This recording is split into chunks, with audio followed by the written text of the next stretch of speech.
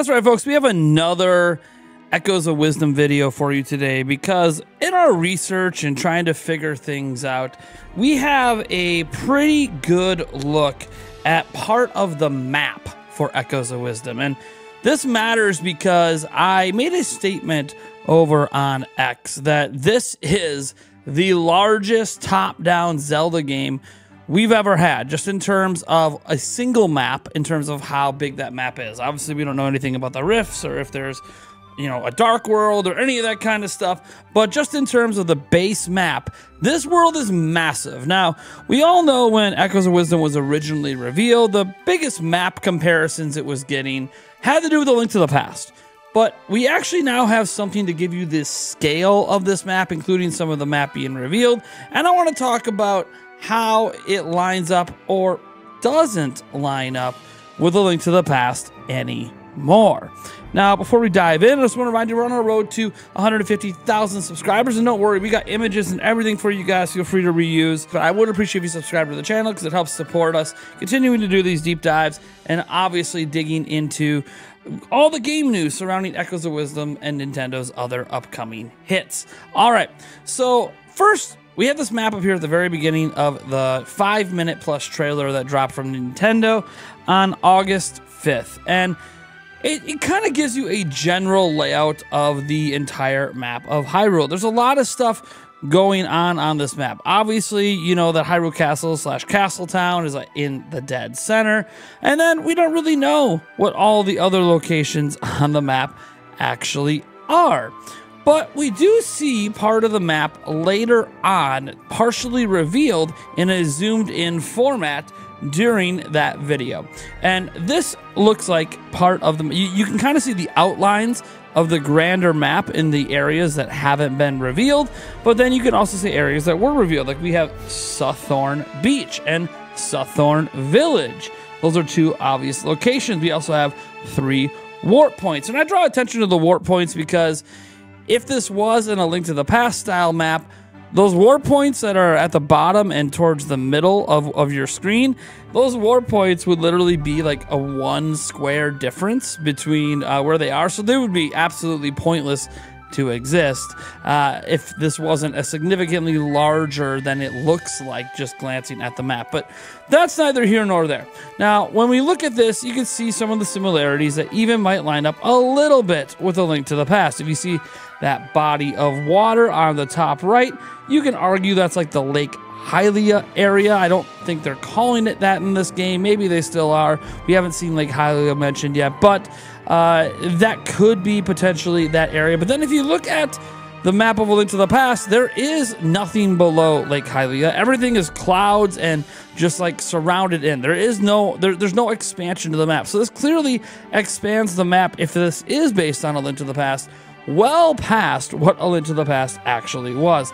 But even some of the geography isn't 100% perfect, but you know, they're obviously modernizing the geography, so it doesn't need to be exactly one to one to line up.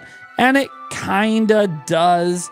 Uh, a forest area now is actually more of a desert area, it looks like instead, uh, with extra bodies of water that didn't appear in the original. If you line up things with the old location of the flooded palace, and actually, the flooded palace is technically like still on the map, so there's very much like a link to the past was the base for this, and then they just sort of built on top.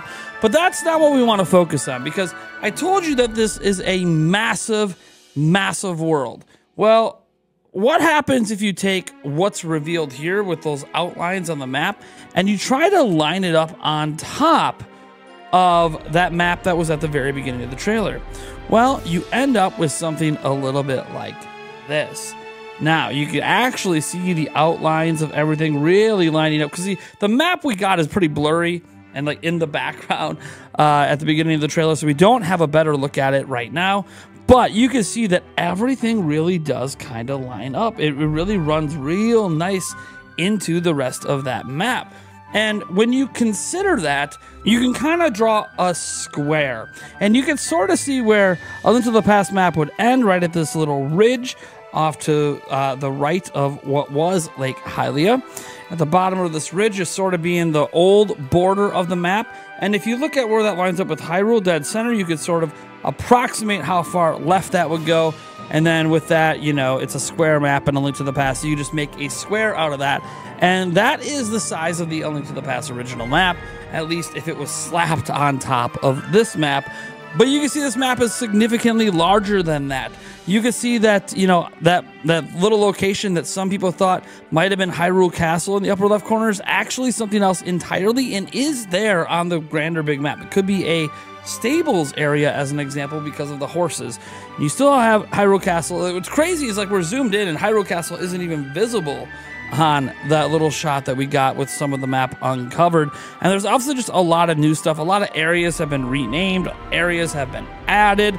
So I do think that A Link to the Past might have been the basis for the map originally, but there's clearly been a lot of changes, a lot of race changes, a lot of other stuff have occurred that, you know, Hyrule is just a much bigger, grander place now. So I'm just bringing this all up because it is kind of crazy to me how big this world is for a top down Zelda game that we even need warp points, let alone three warp points, seemingly so close to each other. At least those would feel close to each other in a Link to the Past. But in this game, they're really not because even that square we're talking about that would have been the original Link to the Past's map, even that square, it's much bigger in each area. We can see that when the characters walk around in the world in the footage that like those areas are a little bit bigger than what it looks like. So I'm just going to sit back and say this is the closest we have to being able to map out Echoes of Wisdom.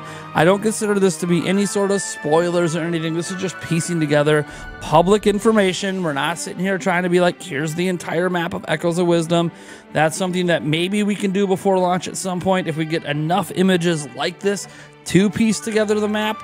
But right now, we, we don't have enough. We have one uh, map reveal image to line up with this grander image. So you guys take that for what you will. Let me know what you think about this. Did this help clarify anything for you? Is this just a really neat find, or do you think I'm just wasting my time? I don't know. You guys know I like to di deep dive into Zelda and bring you guys all the biggest information out there. Uh, so thank you so much for being here. I am Nathaniel Rebel from Nintendo Prime, and I'll catch you in the next video.